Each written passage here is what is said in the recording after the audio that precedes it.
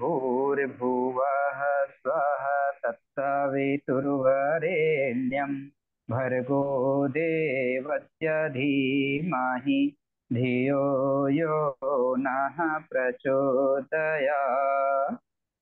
ॐ गुरुर्ब्रह्मा, गुरुर्विष्णुः, गुरुरेव महेश्वरः, गुरुरेव परब्रह्मा, तस्मै श्रीगुरुवे नमः। यथा सूर्यस्य कान्तिस्तु, श्रीरामे विद्यते हि या सर्वशक्तिस्वरूपायै दिव्यै भगवत्यै नमः। ॐ आयातु वरदे देवी त्रयक्षरे ब्रह्मवादिनी।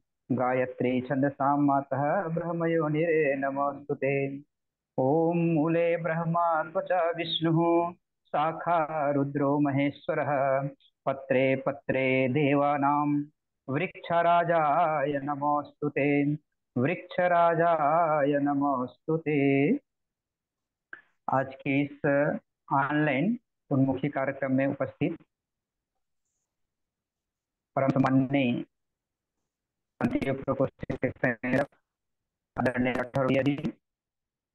नारी जागरण के मार्गदर्शिका परम आदरणीय डॉक्टर कुंती साहू दीदी आदरणीय जी, एवं इस ऑनलाइन उन्मुखी कार्यक्रम में जुड़े हुए सभी ज़िले से हमारे भाई। आप सब लोगों ने पिछले बार शांति कुंज से एक योजना आया था कि शांति कुंज का स्वर्ण जयंती हुआ। उस स्वर्ण जयंती पर आप सब लोगों ने बढ़ चढ़ करके हिस्से लिए थे। और उस समय हमारा संकल्प था कि छत्तीसगढ़ में सवा लाख वृक्षारोपण करेंगे। और ये भी श्रावणी पूर्णिमा से लेकर के रक्षाबंधन का समय था। और उस समय का डेट और अभी का सब, अभी का डेट अभी भी रक्षाबंधन तीस तारीख को आ रहा है अगस्त में। पिछले बार भी इक्कीस बाईस में रक्षाबंधन तीस अगस्त को ही आया था। ये बड़ा सुनहरा संयोग है। और उस समय प्राय छत्तीसगढ़ के बहुत सारे ज़िले बहुत ही अभूतपूर्व पूर्व काम किए थे, जिसमें से राजनांदगांव जिला से हमारे चांदो डोंगर गाँव था हमारे धमतरी जिला से सिरडी था महासमुंद जिला से हमारे बागपहारा क्षेत्र खल्लारी से और इधर गरियाबंद जिला से सुकमा जिला से बिलासपुर जिला से बलौदा बाज़ार जिला से जांजगीर जिला से कांकेर जिला से दुर्ग जिला से कोंडागांव जिला से और इसी क्रम में धमतरी जिला से जांजगीर चांपा जिला से बड़ा ही उल्लेखनीय कार्य हुए हैं और उस समय जो हमारे पास जो रिकॉर्ड आया था, लगभग तिरासी हज़ार वृक्षारोपण उस समय और रिकॉर्डेड आप सब लोगों के प्रयास से हुआ था। इसके अलावा जो छुटपुट किए थे, कोई एक लगाया, कोई पाँच लगाया, कोई दस लगाया, उसकी गिनती हमारे पास नहीं आया है। तो हम ये मान सकते हैं कि हमने सवा लाख का जो लक्ष्य हमारा था उस समय का, उसको हम पूरा कर गए हैं। इस समय फिर हमको हमको काम करने की आवश्यकता है। और इस बार का वैसे हम लेकर आगे बढ़ते हैं। जैसे पिछले बार हम सब लोगों ने किया था। इसमें थोड़ा बहुत हमको नया नवाचार करना पड़ेगा। उस समय हम लोगों ने वृक्षारोपण किए तो जहाँ भी खाली ज़मीन मिला वहाँ पर लगाए। और जितना भी मैंने नाम लिया जिस जिला का, वे वृक्षारोपण जो किए हैं ऐसे जगह पर किए हैं जो आज भी वो सभी वृक्ष जीवित अवस्था में है और बड़े बड़े पेड़ बन गए हैं। सभी जगह। और आपको एक खुशखबरी और बता दूँ। पिछले बार जब शांति कुंज से स्वर्ण जयंती के उपलक्ष्य में जब वृक्षारोपण करने के लिए कहा गया था तो उस समय 108 स्थानों का संकल्प था शांति कुंज का, जिसमें से लगभग हम, मेरे पास जो रिकॉर्ड है, हमारे यहाँ से वैसे मैं पहले तेरह जगह का दिया था, लेकिन यहाँ पर जो वृक्षारोपण हुआ है, वो तेईस स्थानों पर हुआ है, छत्तीसगढ़ में।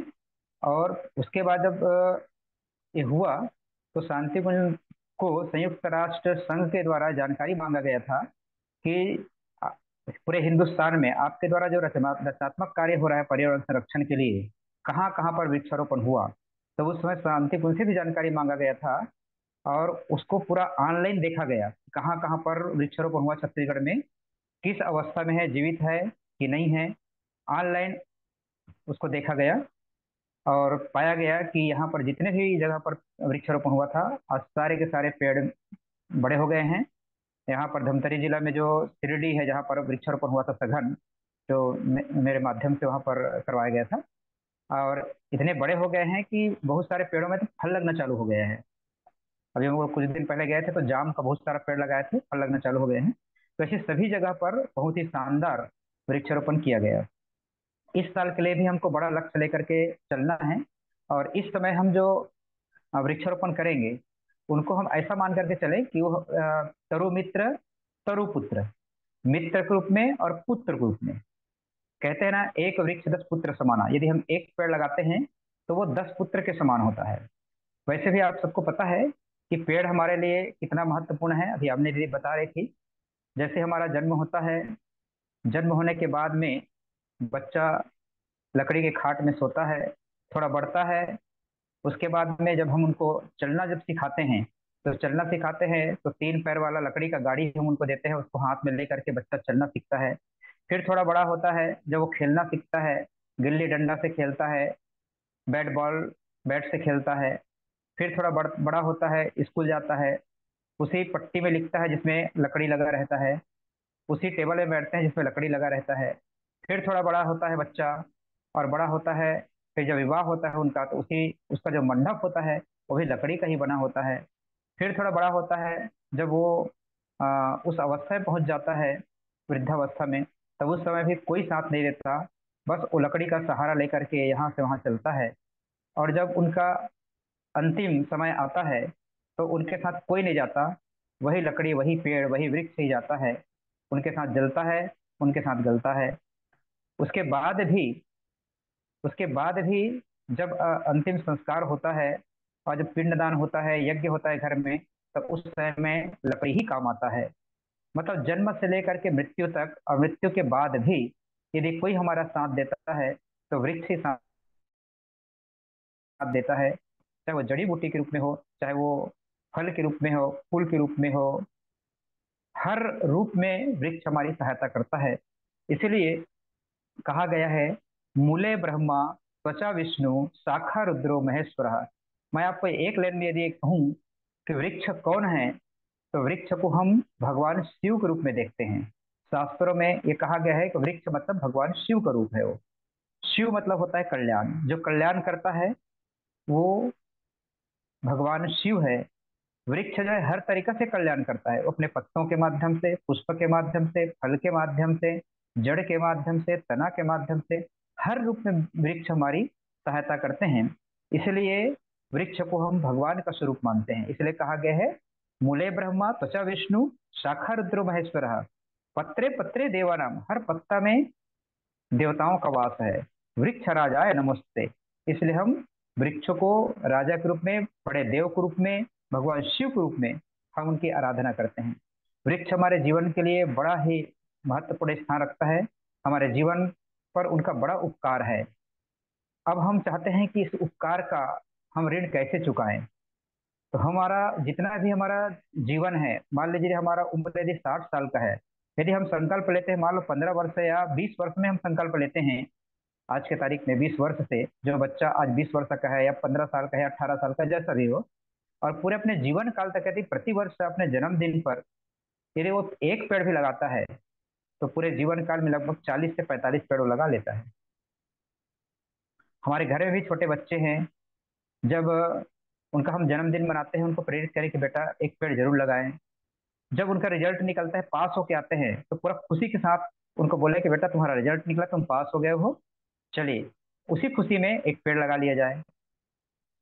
तो यदि हम ऐसा अपने जीवन के साथ में यदि हम वृक्ष को जोड़ दें, क्योंकि हमारे जीवन के साथ जुड़ा हुआ है ऑलरेडी भले हम महसूस नहीं करते हैं कि वृक्ष हमारे साथ जुड़ा है, लेकिन हमारे जीवन के साथ वृक्ष जुड़ा हुआ है। इसलिए हमको वृक्ष लगाना चाहिए, पेड़ लगाना चाहिए। अब सवाल आता है कि पेड़ कब लगाएँ, कैसे लगाएँ? तो पेड़ लगाने के लिए इस वर्ष तीन जुलाई हम अभी गुरु पूर्णिमा का पर्व मनाए हैं और एक अगस्त तक जो पूर्णिमा आएगा, वहाँ तक हमको पेड़ लगाना है। लेकिन इस वर्ष सावन का महीना दो महीने का है, सावन जो है।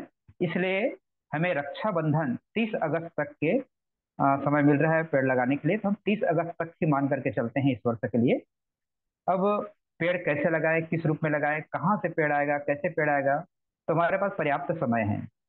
उसके लिए एक योजना शांति कुंज लाया। उनका नाम है माता जी की बाड़ी।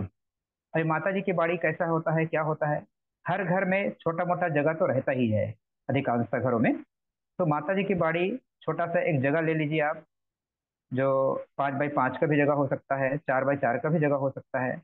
और बहुत सारे चीज़ों को हम लोग खाते हैं। जैसे अभी आम हमने खाया, आम का गुठली हमारे पास है। जामुन हमने खाया, जामुन का गुठली है। इमली हमने उपयोग किया, इमली का, उसका जो बीज है। और बहुत सारे चीज़ हम लोग खाते हैं। जाम है, जाम हमने खाया, उसका बीज है। तो ऐसे जो बीज है, उसको हम कहीं पर भी रख दें।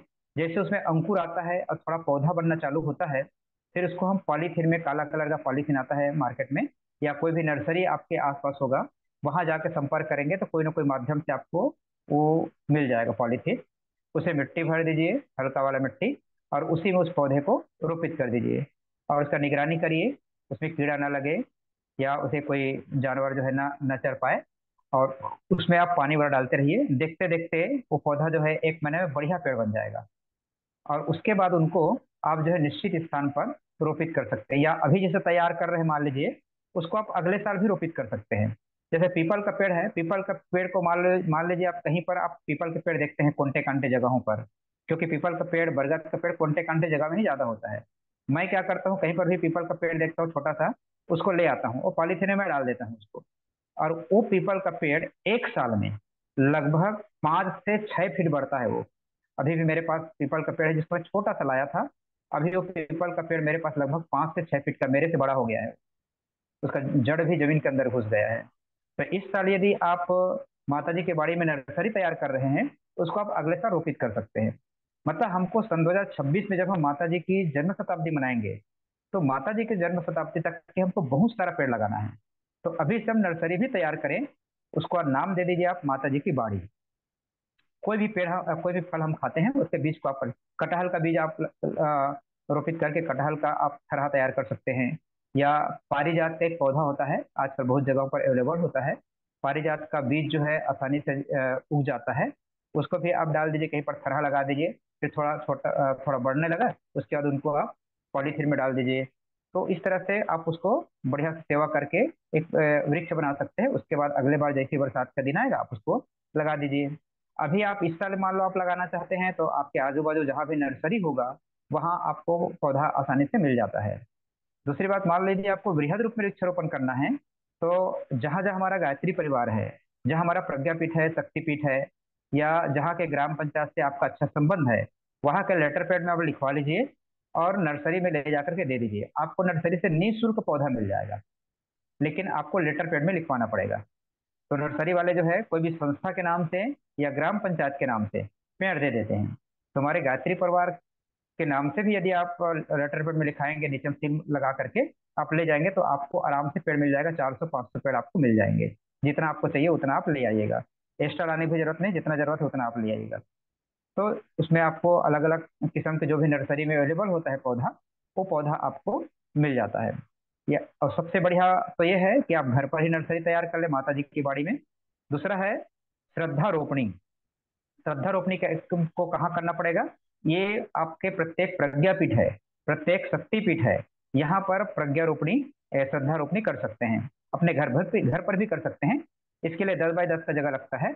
और इसमें भी आप अपने ऐसी नर्सरी तैयार कर लीजिए। और नर्सरी तैयार करके आप अपने जन्मदिन पर, अपने विवाह दिन पर आप जो है औरों को प्रसाद के रूप में बांटिए। पिछले बार मैंने लगभग सत्तर से अस्सी पौधा पारिजात का मैंने नर्सरी तैयार किया था। उसके उतने पौधे को मैंने पॉलीथीन में रखा और जो भी मेरे घर आते थे, मैं सबको प्रसाद के रूप में दिया पिछले बार। मतलब वो पारिजात का पौधा जो न जाने कितने सारे घरों में गया होगा। बेल का पौधा मैंने तैयार किया था, बेल का पौधा मैंने प्रसाद के रूप में दिया, आम का पौधा मैंने प्रसाद के रूप में दिया, जाम का पौधा मैंने प्रसाद के रूप में दिया, सीताफल का पौधा मैंने प्रसाद के रूप में दिया। मैं सब पौधा को, मैं वैसे ही नर्सरी तैयार किया हूँ। माता जी की बाड़ी के नाम से, श्रद्धा रोपनी के नाम से, और फिर मेरे घर में जो कोई भी आते हैं, मैं सबको बताता हूँ, मेरे घर ये पेड़ है, मेरे घर ये पेड़ है। बोले में क्या है, हमारे पास है? हम उसके महत्व बताते हैं, लोग बड़े श्रद्धा के साथ मांगते हैं, हम उनको प्रसाद के रूप में दे देते हैं। फिर वो पौधा जो है, कई लोगों के घरों के बाड़ियों में खेतों में जा करके रोपित हो जाता है। तो ये है दूसरा है हमारा श्रद्धा रोपणी अभी जो माता जी का जन्म शताब्दी आ रहा है उस उपलक्ष्य में वृहद वृक्षारोपण।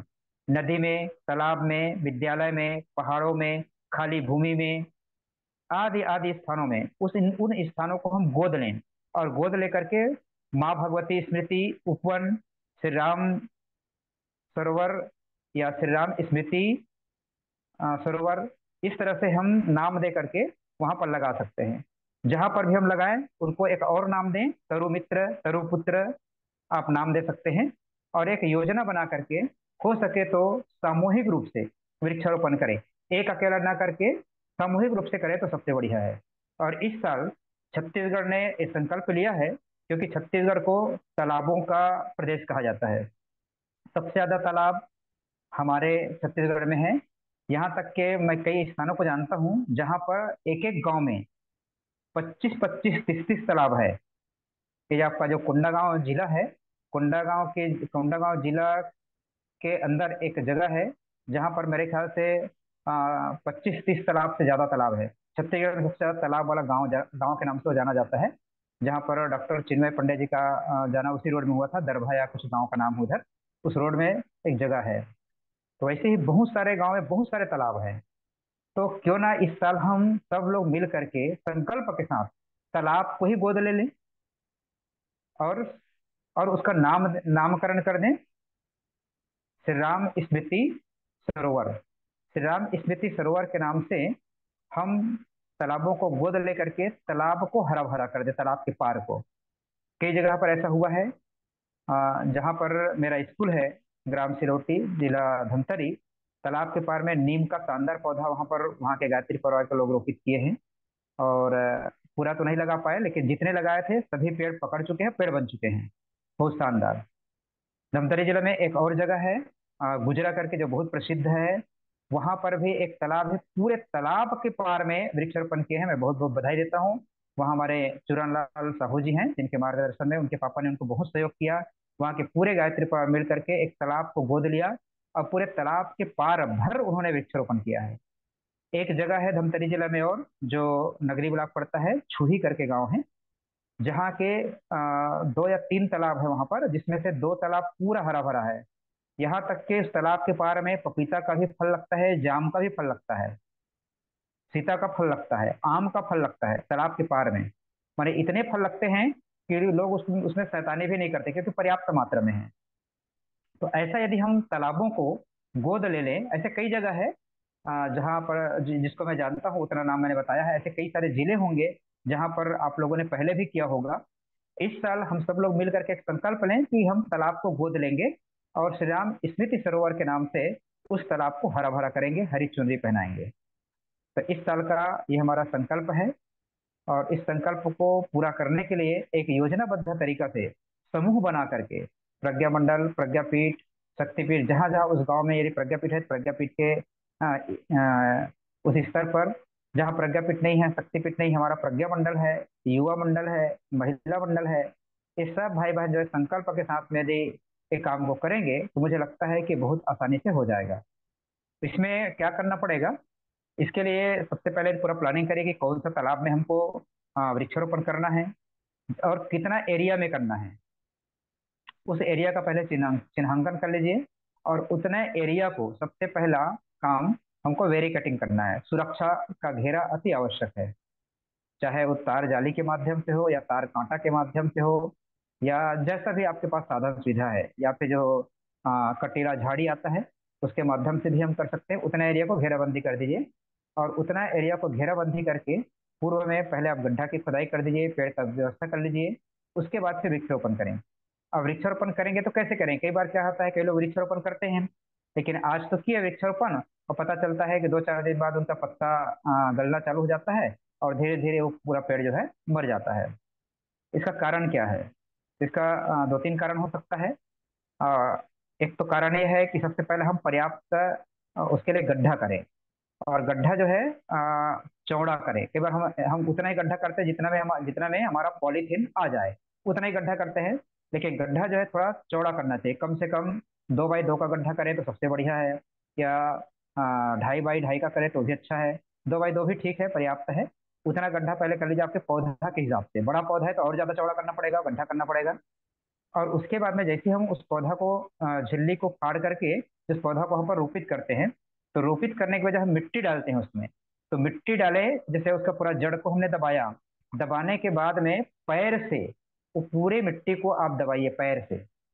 उसका फिर मिट्टी डालिए, फिर पैर से दबाइए, फिर मिट्टी डालिए, फिर पैर से दबाइए। मतलब उसको अच्छी तरह से दबाना, उसका जड़ जो है पूरा अंदर अच्छी तरह से दब जाए। हम दबाते नहीं इसे पूरा मिट्टी खोदे थे उस मिट्टी को डाल दिए, पानी डाल के आ जाते हैं। ऐसा नहीं करना है। हमको उसको अच्छी तरह से दबाना है उसको। अच्छी तरह जब उनको दबाएँगे तो पेड़ जो है बहुत आसानी से जल्दी पकड़ता है, उसके आप उसमें पानी डाल दीजिए, कोई दिक्कत नहीं तो इस तरह से हमको वृक्षारोपण करना है।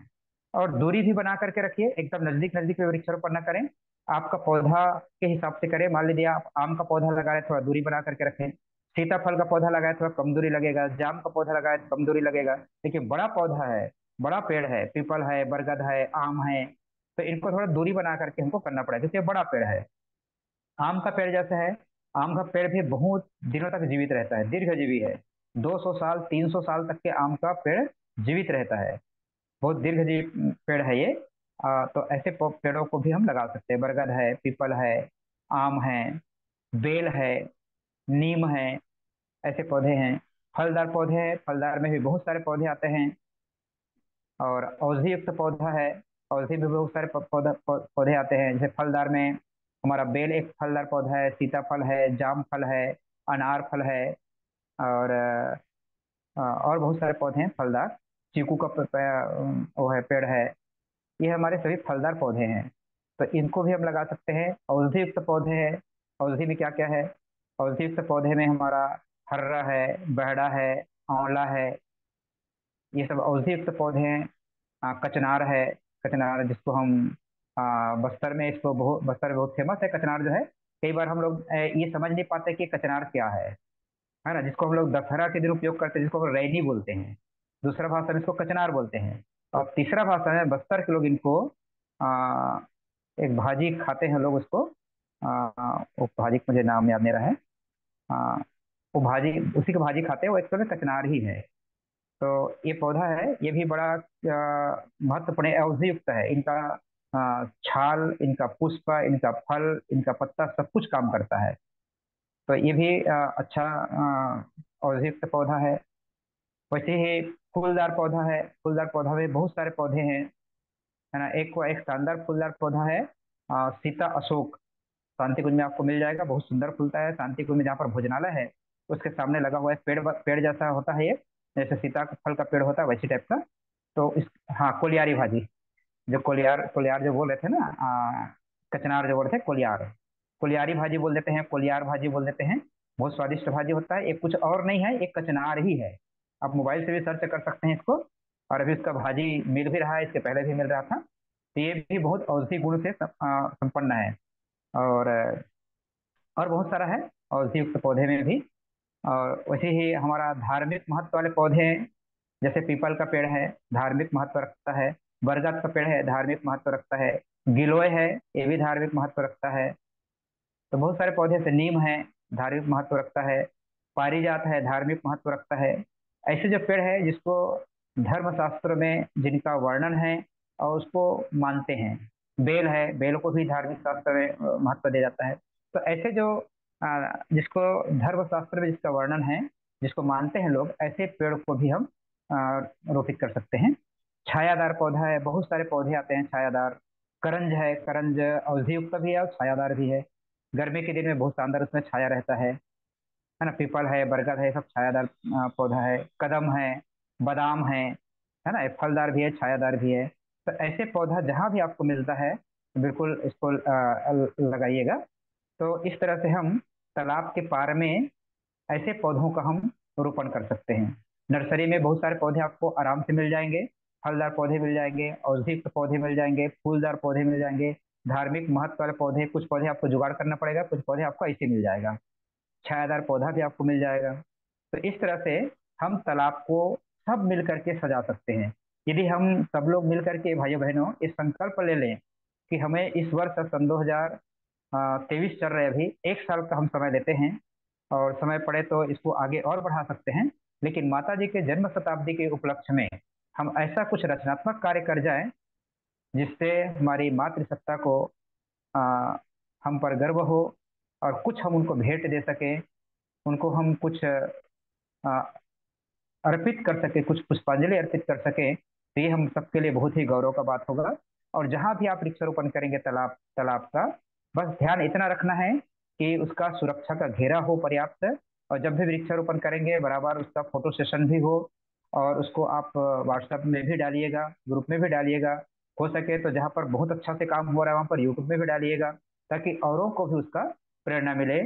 और पूरी जानकारी आप प्रकोष्ठ को भी दीजिए और ज़रूरत पड़े तो उसको प्रज्ञाहन पाक्षिक में भी दीजिए। शांति कुंज को भी रिपोर्टिंग रिपोर्टिंग दीजिए ताकि छत्तीसगढ़ में जो काम हो रहा है क्योंकि हम लोग काम तो बहुत करते हैं, लेकिन हम लोग दे नहीं पाते हैं पाक्षिक में नहीं दे पाते हैं, पेपरों में नहीं दे पाते हैं।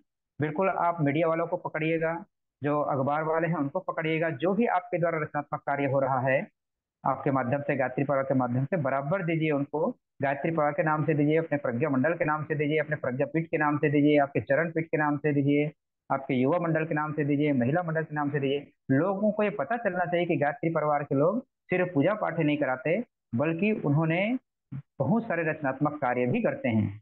ये लोगों को पता चलना चाहिए। और लोगों को भी उसमें शामिल करिए। मैं तो ये कहता हूँ कि जिस दिन आप वृक्षारोपण कर रहे हैं तालाबों में, उस दिन हो सके यदि संभव हो जहाँ पर जहाँ पर यदि संभव हो तो अभी संडे को त्यौहार मानते हैं। संडे को कर दीजिए बढ़िया। गाँव को बंद करवा दीजिए और गाँव तो अच्छे से ऑलरेडी बंद रहता है। गाँव के सरपंच है, गाँव के जो ग्राम विकास समिति के अध्यक्ष हैं, पंचगण हैं, ऐसे जो धार्मिक धार्मिकता पर आस्था रखने वाले जो लोग हैं, ऐसे लोगों को, युवाओं को, बहनों को मिताने लोगों को समूह वालों को सबको उसमें शामिल करिए और शामिल करके बढ़िया ऐसा लगना चाहिए कि उस गाँव में वृक्षारोपण त्यौहार मनाया जा रहा है। ऐसा एक माहौल बना करके हम वृक्षारोपण करेंगे तो सबकी श्रद्धा, सबकी भक्ति उसमें जुड़ेगा और सब लोग भी सोचेंगे कि उसकी सुरक्षा हम कैसे कर सकते हैं और क्या क्या सरंजाम इसके लिए जुटाया जा सकता है। फिर उसके बाद में जैसे अगले वर्ष आएगा तो तरु मित्र मिलन समारोह भी आप रख सकते हैं। उसके साथ आप एक बढ़िया कार्यक्रम आयोजन करके जो जो उन्होंने पेड़ लगाया है, उनको चिन्हांकित करके बिल्कुल उनके साथ प्रेम व्यवहार बना के रखिएगा। उस पेड़ के साथ में बढ़िया त्यौहार मना लीजिए अगले साल से, उसका जन्मदिन मना लीजिए। ऐसा भी हम शानदार योजना बना करके काम कर सकते हैं। तो ये रही ये रहा अपना श्री राम स्मृति सरोवर। इस, इस पर हम इस तरह से काम कर सकते हैं। दूसरा है एक और हम काम कर सकते हैं जैसे कई घरों में पर्याप्त जगह नहीं रहता है। आ, लेकिन गमला वगैरह रखते हैं तो गमलों में हम स्वास्थ्य कैसे रख रख सकते हैं? तो गमलों में स्वास्थ्य के लिए कुछ चयनित औषधि है उस चयनित औषधियों को अपने घर में ही गमला में रोपण कर सकते हैं। जैसे जिसमें जिसको हम लघु आरोग्य वाटिका का नाम दे सकते हैं जैसे तुलसी है, गिलोय है घृत कुमारी है घृत कुमारी मतलब घृतवार भी बोल देते हैं उसको। और आज्ञा घास है, अडूसा है, अडूसा को और कई नामों से जानते हैं। अडूसा जो, जैसे किसी को सर्दी जुकाम लग जाता है तो उसका जो पत्ता है, उसको पीस करके पिला जाता है। हल्दी है, हल्दी भी है, अदरक है काल मेघ है। काल मेघ जिसको हम भुई नीम के नाम से जानते हैं, वो काल मेघ है सरपुंखा है तो इस तरह से हम अपने घर में गमले में भी लघु आरोग्य वाटिका लगा सकते हैं और ऐसे पौधों का हम उपयोग कर सकते हैं। जैसे हाँ एलोवेरा घृत कुमारी को एलोवेरा के नाम से भी जानते हैं। जैसे आ, कई बार क्या रहते हैं छोटे बच्चे रहते हैं छोटे बच्चे को अक्सर सर्दी खांसी बुखार एक साथ हो जाता है जिसको हम निमोनिया के नाम से जानते हैं। तो यहाँ पर जो मैंने जो प्रयोग किया जब मेरे बच्चे छोटे थे तो चूँकि हमारे पास पर्याप्त अर्थ नहीं होता था तो हम लोग उपयोग करते थे तुलसी का पत्ता, अदरक का, अदरक और तुलसी का पत्ता, अदरक और एक और मिलाते थे दावना का पत्ता। दावना भी औषधि के रूप में काम करता है। अदरक का रस, तुलसी पत्ता का रस और दावना का रस, ये तीनों को मिक्स कर देते थे और तीनों को मिक्स करके हम बच्चों को पिला देते थे। तो निमोनिया का बड़ा ही शानदार इलाज है।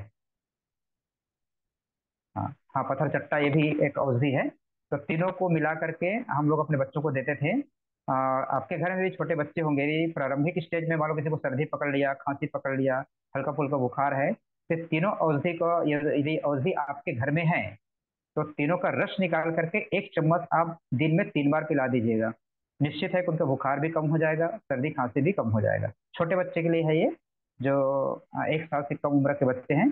और मान लो बड़े हैं तो उसको थोड़ा ज़्यादा मात्रा में दे दीजिएगा। तो इस तरह से यदि हमारे पास यदि लघु आरोग्य वाटिका यदि हमारे पास में है हाँ पेन पेन ये जंगलों में पाया जाता है, पेन का पौधा जो है, ये दर्द के लिए काम करता है।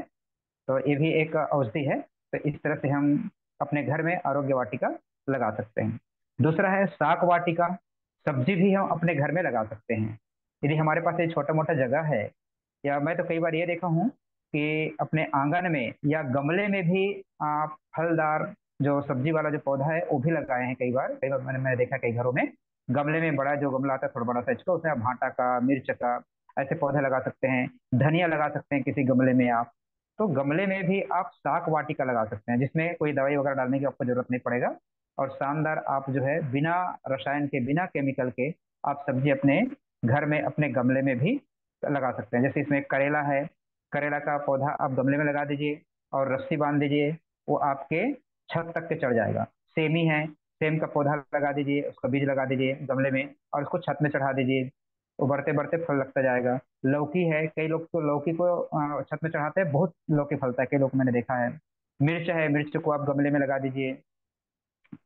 तो इस तरह से लौकी है, सेम है, मिर्च है, कई प्रकार के भाजी आता है है ना? चौलाई का भाजी है या लाल भाजी है पालक भाजी है ऐसे भाजी को भी आप उसमें लगा सकते या फिर बढ़िया भाजी मैं आपको बता रहा हूँ पटवा का भाजी आता है और खट्टा भाजी आता है एक पेड़ में बहुत सारा भाजी आता है इसमें। एक पेड़ है लेकिन आ, उसमें इतना भाजी हो जाता है कि पूछो मत। मेरे घर में एक एक पेड़ का भाजी हमारे यहाँ एक सब्ज़ी का हो जाता है अभी वर्तमान में। जो एक पेड़ पर्याप्त है उसमें बहुत सारा शाखा देता है और हम लोग उसमें कोई प्रकार के दवाई वगैरह कुछ नहीं डालते हैं। तो इस तरह से आप शाक वाटिका भी अपने घर में गमले में भी लगा सकते हैं, कम जगह में भी लगा सकते हैं। एक वृक्षारोपण करने का एक शानदार एक और माध्यम है, जिसको हम बीज बम बोलते हैं। बीज बम। जैसे मान लीजिए आपके पास में कोई बीज है मान लीजिए आपने जामुन खाया, जामुन का बीज आपके पास में है। तो जामुन के बीज को आप मिट्टी में डाल दीजिए अंदर में और उसको बाटी जैसे बना दीजिए। जैसे अपन बाटी खेलते हैं, बच्चे लोग ना, इतना बड़ा बड़ा बाटी, ऐसा बाटी बना दीजिए और उसके अंदर में बीज को डाल दीजिए। और उसको रोड के आजू बाजू या बाहर जो परिया ज़मीन है, ऐसे ज़मीन पर उसको फेंक दीजिए। जैसे वातावरण बनेगा, बारिश होगी और उसमें से अंकुर आकर के वो ऑटोमेटिक पौधा बन जाएँगे। ये काम जंगल क्षेत्र में अभी भी चलता है बीज बम। तो जो भी बीज आपके पास में है, जैसे हर्रा है, बहड़ा है, ऐसे बीज को भी हम बीज बम के रूप में ले सकते हैं। बड़ा जो अपना जो आम है, जहाँ आम है, आम के आम के गुठली को अंदर डाल करके भी कर सकते हैं।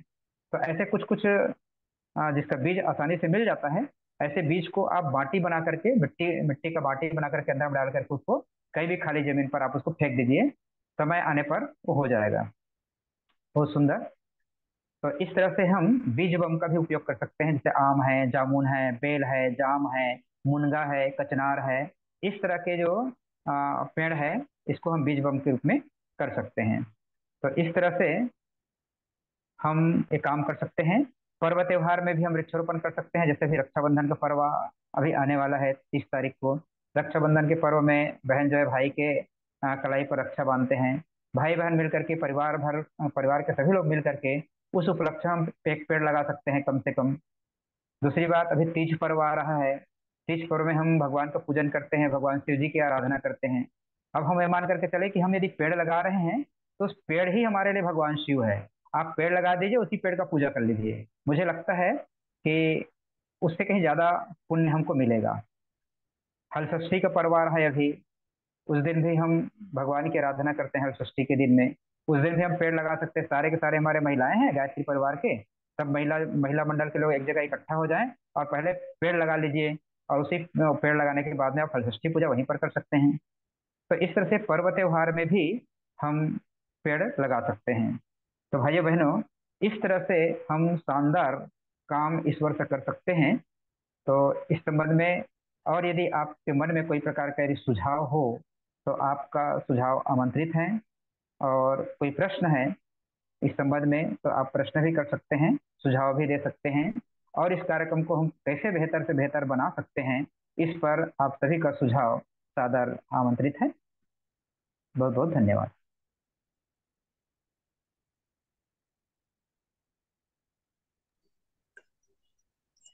जी भैया बहुत बहुत धन्यवाद। आपने बहुत ही अच्छे ढंग से यहाँ पर बताया कि किस प्रकार से वृक्ष जो है, एक शिव के समान है, कल्याणकारी रूप है, जो हमारे द्वारा छोड़े गए कार्बन डाइऑक्साइड को लेकर हमको प्राणदायिनी, वायु, ऑक्सीजन प्रदान करते हैं। तो और वैसे भी वृक्षों को देवता की श्रेणी में लिया गया है। वो हमको जीवन पर्यंत जन्म से लेकर मृत्यु तक हम उस पर निर्भर करते हैं। बहुत ही अच्छा यहाँ पर आपने बताया। साथ ही साथ जो अलग अलग कार्य तो एक ही है लेकिन उसको नाम अलग अलग दिए गए हैं। हम श्रद्धा रोपनी के के रूप में अपने घर में नर्सरी तैयार कर सकते हैं। साथ ही साथ माता भगवती बाड़ी के रूप में अगर हमारे पास कम जगह है तो नर्सरी तैयार कर सकते हैं। और साथ ही साथ जो आजकल हम वृक्ष बाहर से खरीद के लाते हैं बाहर नर्सरी से खरीद लाते हैं। वो नर्सरी अगर हम अपने घर में स्वयं तैयार कर ले तो वो नर्सरी के पौधों को हम जब भी किसी के घर में जन्म दिवस मनाने जाते हैं या विवाह दिवस मनाने जाते हैं तो हमको ये हड़बड़ी रहती है कि हम उसको क्या दे करके। तो ये बहुत ही अच्छा उपहार हम उनको दे सकते हैं और निश्चित ही आपने बहुत ही अच्छे ढंग से सारे विषयों को यहाँ पर बताया।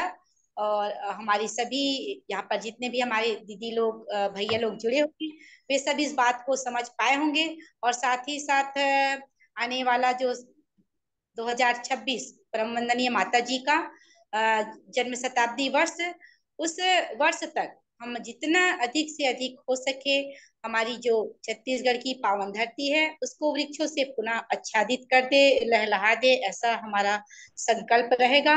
और इस वर्ष तो हमारे लिए एक सुनहरा अवसर, जैसे पहले विगत वर्षों में एक माह के लिए किया जाता था वृक्षारोपण का कार्यक्रम, क्योंकि बरसात में ज़्यादा पेड़ पौधे लगाए जाते हैं। और इस वर्ष तो हमको दो माह का मिला है, तीस जुलाई से लेकर तीस अगस्त तक का। तो ये हमारे लिए बहुत ही अच्छा समय है।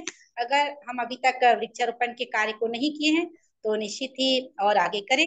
सा, और साथ ही साथ भैया जी का जैसे कि अगर इस विषय में आपके कोई विचार हैं या सुझाव हैं कि और हम इस वृक्षारोपण को या वृक्ष गंगा अभियान को और किस प्रकार से अच्छा बना सकते हैं या आपके क्षेत्र में कोई अच्छा कार्य हो रहा है तो आपके, सभी के विचार सादर आमंत्रित हैं।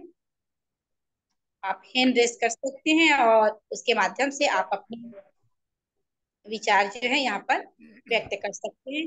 साथ ही साथ भैया जी ने बहुत ऐसे जगहों के उदाहरण भी बताए जहाँ पर वृक्षारोपण या श्री राम स्मृति उपवन के अच्छे अच्छे प्रकल्प जो हैं इसी में हमारे महासमुंद ज़िले में भी श्री राम स्मृति उपवन है। वहाँ भी इसी तारतम्य में बहुत से वृक्ष लगाए हुए हैं और उन उन वृक्षों में जो है में भी शुरू हो गए हैं। और वहाँ भी जैसा भैया ने बताया ना कि तरुपुत्र वृक्ष जब हम लगाते हैं, जैसा इस वर्ष भी अपने अपने गाँव में भी शुरुआत कर सकते हैं, पूरा सरपंच वगैरह के साथ में, जनप्रतिनिधि, युवाओं के, महिलाओं के साथ में। और उस वृक्ष का प्रत्येक वर्ष जन्म दिवस मनाएँ। ऐसा आयोजन जो है महासमुंद होता है। वहाँ प्रत्येक वर्ष जो है सितंबर में वृक्षों का एक विशेष तिथि है, तेईस सितंबर या सत्ताईस सितंबर है। वहाँ पर वृक्षों का जन्म दिवस मनाया जाता है, जिसमें उसके तरु माता पिता जो होते हैं, जिन्होंने वृक्ष लगाया और वृक्षों के देख रेख के लिए जिन्होंने थोड़ा बहुत आर्थिक सहयोग भी देते हैं तो वे जो है प्रत्येक वर्ष जाकर अपने वृक्षों की पूजन करते हैं और बड़ा ही अच्छा वातावरण वहाँ होता है और सौभाग्य की बात है कि पिछले वर्ष मैं भी वहाँ गई थी। बहुत अच्छा लगा तो इस प्रकार के आयोजन जो है सभी क्षेत्रों में होने चाहिए। इससे एक अच्छा वातावरण बनता है और लोगों के सामने जो हमारी गायत्री परिवार की छवि है वो भी निकल के आती है। लोग ऐसी समझते हैं कि गायत्री परिवार वाले सिर्फ़ पूजा पाठ ही करवाने तक सीमित है तो वो इस बात को समझ सके कि गायत्री परिवार सिर्फ़ पूजा पाठ ही नहीं व्यक्ति के समग्र विकास उसके विचारों में परिवर्तन और नए युग के आगमन के लिए सभी योजनाएँ जो है गायत्री परिवार के द्वारा की जाती हैं कराई जाती हैं। तो ऐसा है तो आप सभी के विचार इस पर सादर आमंत्रित हैं। आप हैंड रेस कर सकते हैं और आगे के संचालन के लिए और कोई होंगे भैया? हाँ उषा सोनी दीदी का देख लीजिए उषा सोनी दीदी? उषा सोनी दीदी।